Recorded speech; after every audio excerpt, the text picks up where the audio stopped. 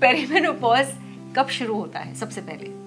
आमतौर पे फोर्टीज में औरतों को पेरी मेनोपॉज शुरू हो जाता है। मेनोपॉज महिलाओं के ज़िंदगी की वो अवस्था है जहाँ जो उनको मंथली पीरियड्स आते थे माहवारी आती थी वो बंद हो जाती है एनर्जी नहीं है। अब औरतों के साथ एक और चीज़ होती है कि वो काम करने जाती है कुछ वहाँ जाके सोचती है किस लिए आई थी। आयुर्वेद में एक जनरल आप नहीं कहते कि ये सिम्टम्स हैं।